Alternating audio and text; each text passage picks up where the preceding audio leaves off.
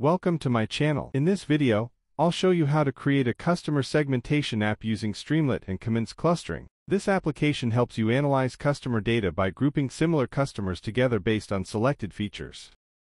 Project Overview Upload customer data from a CSV or Excel file. Handle missing values efficiently. Preprocess data by converting string columns to integers. Perform KMeans clustering to segment customers. Visualize clusters using Seaborn and Matplotlib.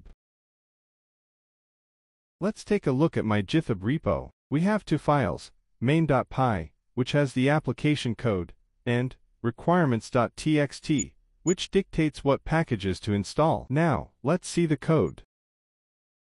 This Streamlit application, titled Customer Segmentation App, allows users to upload a CSV or Excel file containing customer data and analyze it using KMeans clustering. The app begins by importing necessary libraries such as Streamlit, Pandas, scikit-learn, Matplotlib, and Seaborn. Upon uploading the file, the data is loaded, and missing values are handled by dropping rows containing nans. Users can view the raw data and select specific columns for clustering. String columns are automatically converted to integers using LabelEncoder. The selected data is then scaled, and users can choose the number of clusters for the KMeans algorithm. The resulting clusters are visualized using a scatter plot, providing a clear representation of the customer segments. The app includes a footer for branding and is fully interactive, enhancing user engagement and data exploration.